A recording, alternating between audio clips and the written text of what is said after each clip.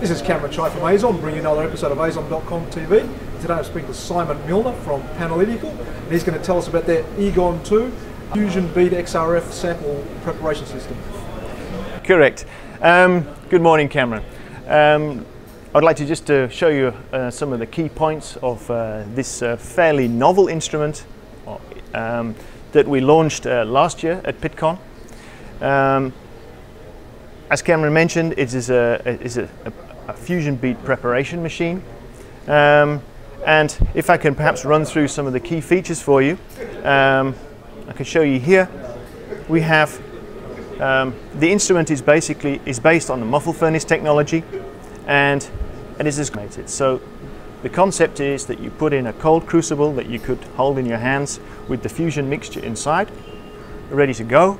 You place it into the uh, crucible holder Beneath the crucible you will see the mold in which the uh, fused beads are cast.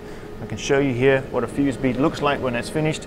This is the, this is the aim of, of, of a fusion machine, is to make a nice clear glass bead like so.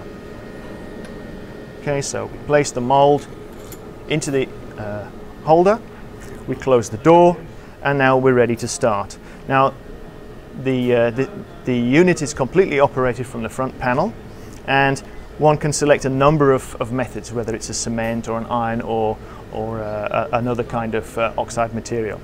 Once you've selected the method, then you can just simply press start. And you can see here the door for the furnace is retracting. It's going to rotate round to the left. And before it goes into the furnace, it's going to stop here above a sensed position to ensure that the casting dish is in place. So that's a safety feature for the instrument.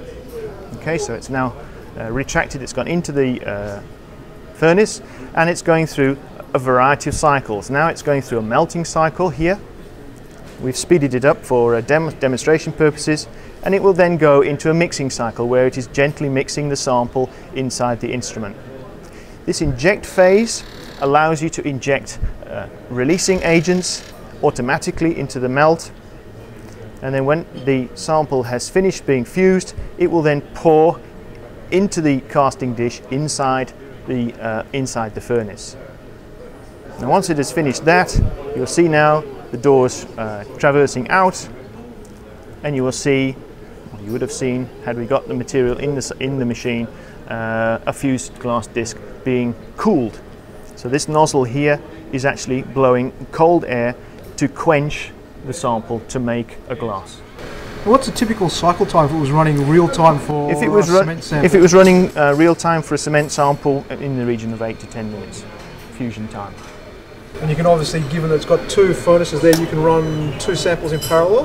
That's quite correct. So let me just wait until it's finished doing this. Um, what I could do here, you can run the samples either uh, asynchronously or together at the same time. So for example, if I just open the door here, I'll I could then run the system in tandem like this.